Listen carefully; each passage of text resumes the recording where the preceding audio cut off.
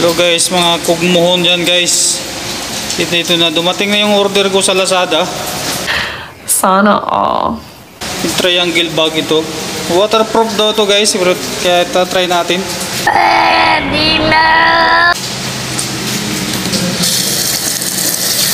Kung legit pa yung waterproof.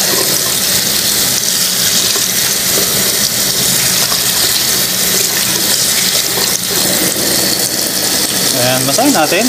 Babad sa tubig para malaman.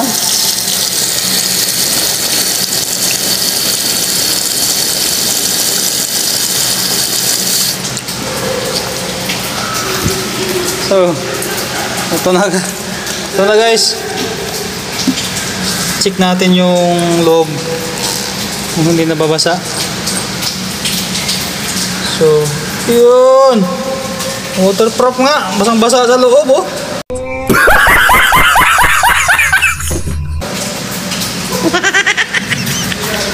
Pero kung may nakikita ko plastic.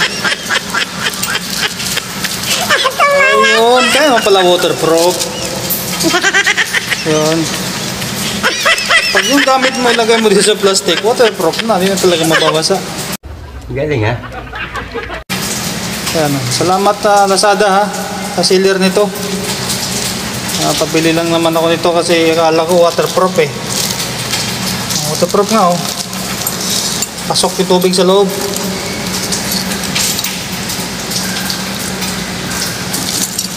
Huwag mo ka talaga sealer na Lazada nito.